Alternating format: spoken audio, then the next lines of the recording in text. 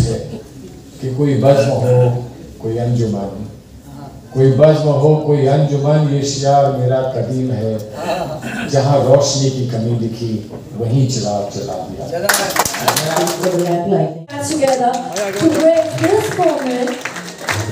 requesting all the cameramen present आप सभी का बेहद शुक्रिया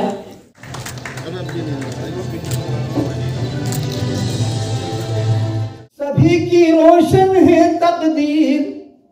यहाँ है मोमिन गालिब मीर। निराला तुलसी सूर कबीर है वलियों संतों की जागीर। दिलों में है रहीमन रस खान, दिलों में है रहीमन रस खान। ये मेरा प्यारा हिंदुस्तान। सदाबाद रहेगा, ये जिंदाबाद रहेगा। लिखा कि श्रद्धा हिंदुओं से ले लो, श्रद्धा हिंदुओं से ले लो, लगन सिखों से ले लो, तहजीब मुसलमानों से ले लो, सेवा ईसाइयों से ले लो, वातावरण जैनियों से ले लो, शांति बौद्धिस्टों से ले लो पैरहन पारसियों से भारत को प्रेम करो, ये हमारी संस्कृति है मैं का रोशन दिया हूँ, जहाँ सदियों से मैं जलता रहा हूँ। मेरी तहरीक का मंशा ना पूछो, अंधेरों पर सदा हावी रहा तो आप सब लोग, सब लोगों ने अंधेरे को दूर करने के लिए तो बहुत बहुत शुक्रिया, आप सब जो आए, मैं दिल की गहराइयों से, Rajiv Gandhi global excellence award foundation की ओर से, परवाज मीडिया ग्रुप की तरफ़ से, आप लोगों का इस्तेमाल करता हूँ। and director, Firoz Khan, and Sanjay Khan.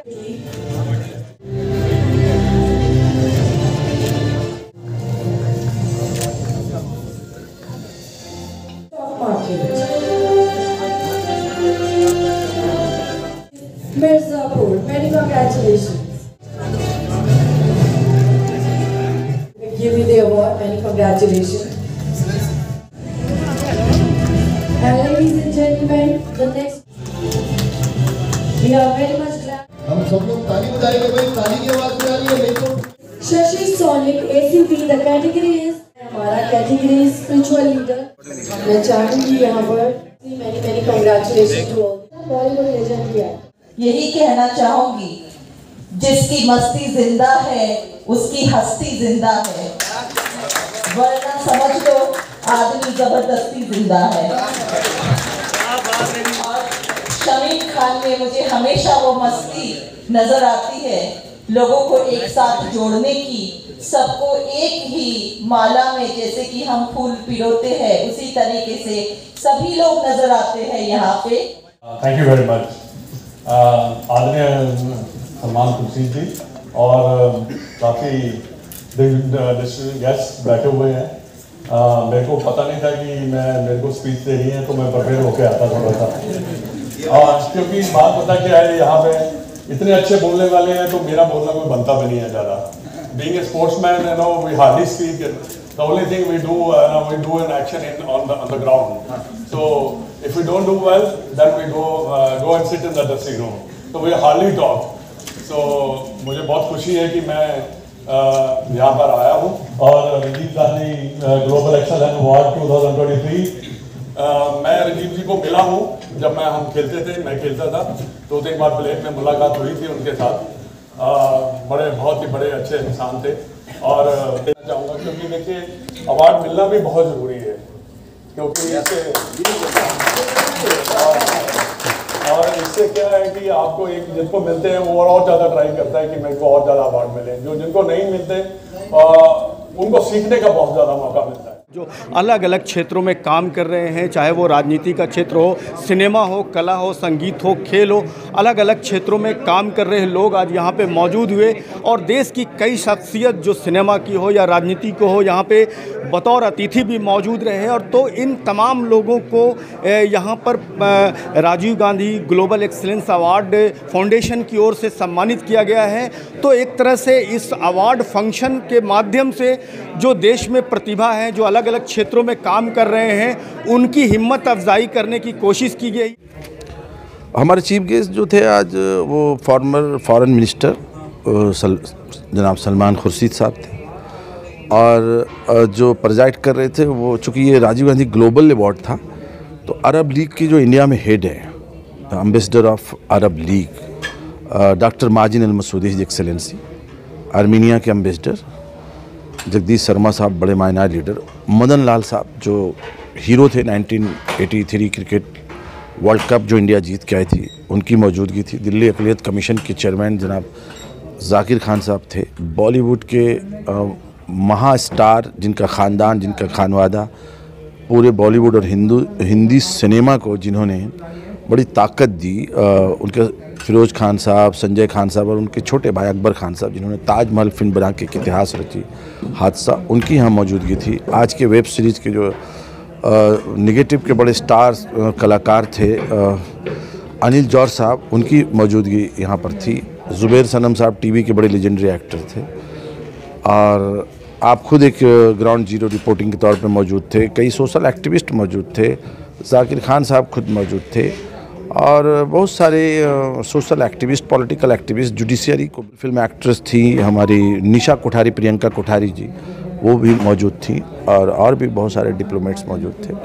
ये क्या उद्देश्य रहता है इस तरह का अवार्ड इंडोसमेंट कामों को सराहना और सामने वालों को आ, उनको और करने की जो कुवत मिलती है जो ताकत मिलती है उसका एक बेहतरीन सा ज़रिया है। जिस तरह से हमारे देश के भी कई बड़े अवार्ड्स हैं लाइक पद्मश्री है पद्म विभूषण है और भारत रत्न इस तरह के अवार्ड्स हैं।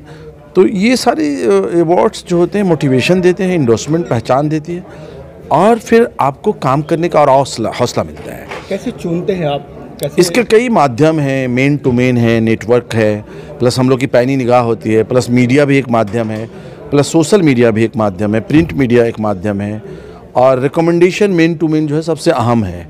और हमारी टीम ऑलरेडी इस पर सर्च करती रहती है तो ये माध्यम media print media, social media, digital media और मेन टू मेन नेटवर्क। और हम लोग भी चूँकि दुनिया मुट्ठी में है, डिजिटल का दौर है तो हम लोग भी ध्यान रखते हैं कि कौन लोग कहाँ। जैसे आपने देखा कि अभी दो बॉक्सिंग में वर्ल्ड कप जीती निखत जरीन।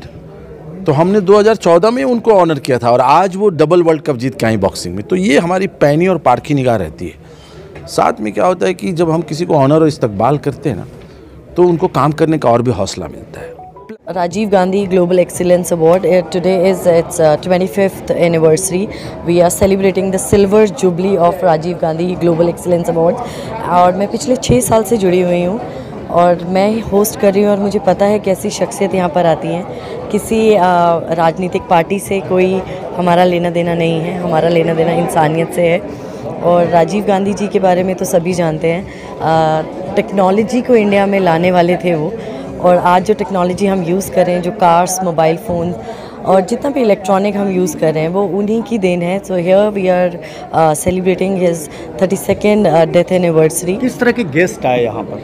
यहाँ पर बॉलीवुड और से ज़्यादातर शख्सियत थी राजनीतिक बहुत सारी शख्सियत। थी आई एम श्योर आपने कैप्चर किया होगा उन्हें। हमारे साथ सलमान खुर्शीद जी थे हमारे साथ निशा कोठारी जी थी हमारे साथ अकबर खान जी थे। बहुत ऐसे नाम थे।